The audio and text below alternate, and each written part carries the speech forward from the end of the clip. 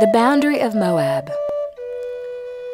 Sorrow at dawn, and again at dusk, grinds our insides, knots our bellies, pangs finger woven from remembering meat.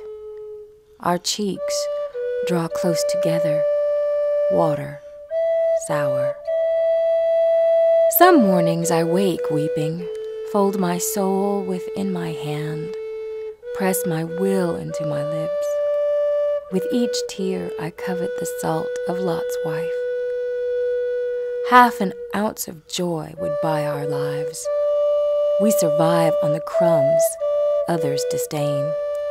Pray they are clumsy, leave handfuls behind. What they esteem lightly enlightens our eyes.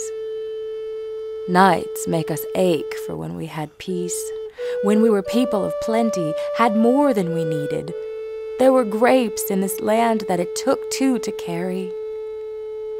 Of course, there were not. That was Canaan. We know it. Memory satisfies one kind of hunger.